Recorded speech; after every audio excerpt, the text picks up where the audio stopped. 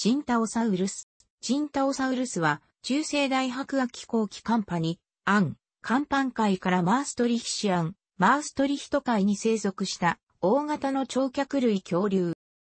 1950年、中国東部山東省チンタオ市近くの来陽市の今後口村北西、沖港の道路側にあるカンパニ、アンの地層で古生物学者、襲名チンとその教え子たちは、大型のハドロサウルス類の頸骨と皮骨を発見した。州は北京の幼少県に報告し、1951年に発掘が開始された。現場は金見影口と来陽市とをつなぐへ主要道路の脇で最低限の範囲での発掘しか許されなかった。そういったことが影響し、十分なフィールド記録が得られず発掘は途中で打ち切られることにな。この発掘で得られたのは少なくとも7体分の部分的に関節した骨格であった。要は1個体分の頭骨付きの部分骨格をまとめ、ホロタイプ iBOP V725 とし、それに基づき1958年、サウロロフス赤の親族新種、チンタオサウルススピノリヌスチントウソレスピノライネスと記載命名を行った。パラタイプ iBOP V818 は頭頂骨である。追加の骨格と大量のばらけた骨格要素はいくつかはチンタオサウルスと考えられたが、他のものは1958年、新種タニウス金管公演シスタニアス、チンカンクアンシスと記載された。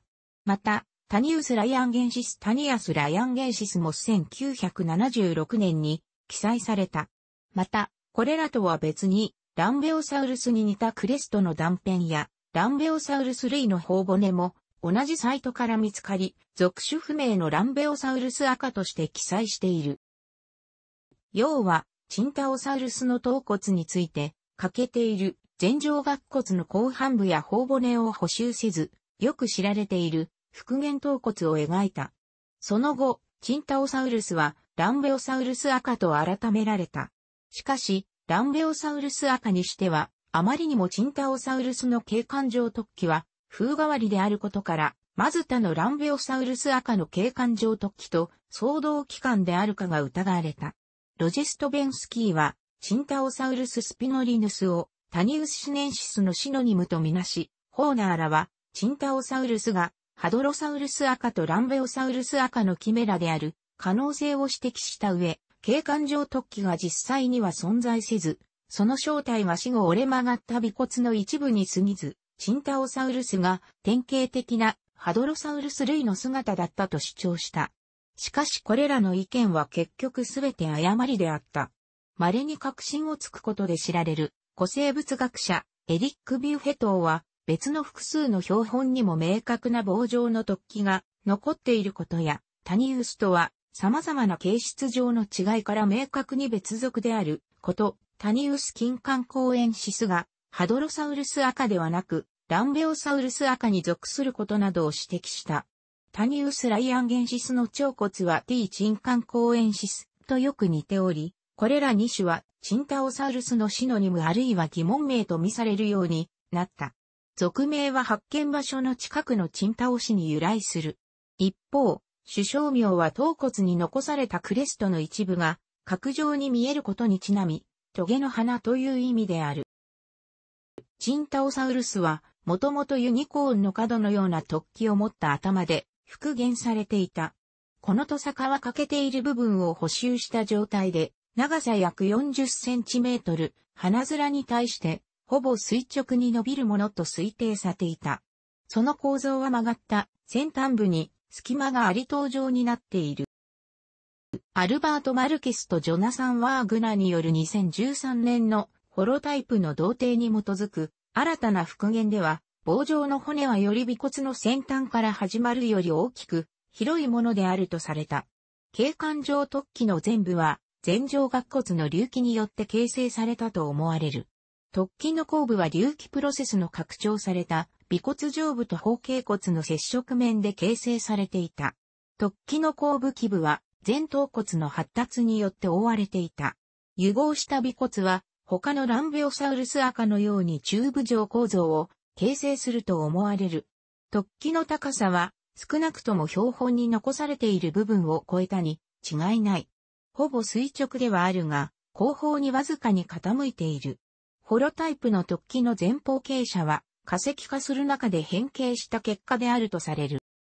マルケスとワグナーによる新たな復元は突起の内部軌道についての新たな仮説を導いた。要は、ホロタイプの保存された部分の感情空洞化が呼吸に役立つと仮定していたが、マルケスらはこれを拒否した。陽の考えは、景観上突起内部が前方の軌道とつながっており、呼吸をすると空気が、くちばし上部の後ろにある疑似尾行を通ったという、ランベオサウルス赤の景観上突起の説明として、一般的な過程である。空気は前上顎骨の頂点まで、側頭骨の元に位置する一体の軌道を通って輸送され、続いて、ローブ、丸い突出部内で共通、左右の軌道から合流するの中央の空洞に入る。空洞の後部は、尾骨によって形成され、おそらく尾空と相同であった。空洞は、正面に一つ、背面に二つの小さな空洞に分割され、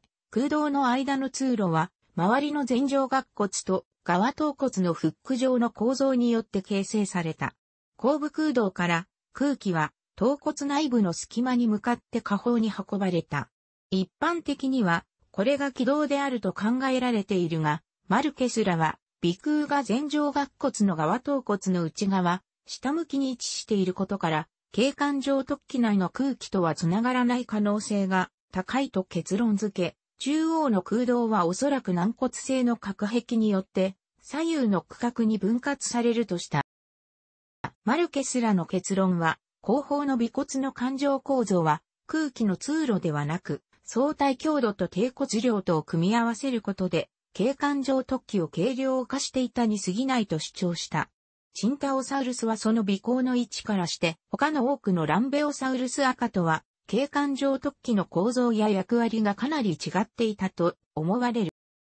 マルケスらは、景観上突起とは別に、チンタオサウルスのいくつかの他の固有の特徴を特定した。上顎骨のくちばしの円は、尾行の周りの前方のくぼみの横幅よりも広く、丸くて厚い。このくぼみは、斜め下と横に続く二つの隆起によって、縦に分けられている。内部的には、融合した尾骨が脳箱の前に骨のブロックを形成する。尾骨後部は前頭骨延長部によって固定され、その最上部は頭骨の頂点に対して上昇している。前上顎骨の上向きの突起は、小中線の共有質を分割して、側頭骨後方がわずかに内側後方に向く。前頭骨は涙、小菅の下部から前頭骨の下部まで続くフランジを有し、景観上と基調面の側部に隆起を形成するために前上顎骨側の側頭骨に接続される。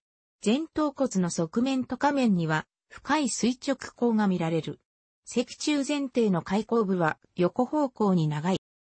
チンタオサウルスはランベオサウルス赤の中でもヨーロッパ型のパララブドドンとコータリサウルス、パララブドドンのシノニムかもしれないと、特に禁煙で、それらとクレード、チンタオサウルス族を共にする。以下、2013年のマルケスらによる系統時でのチンタオサウルスの位置づけ、楽しくご覧になりましたら、購読と良いです。クリックしてください。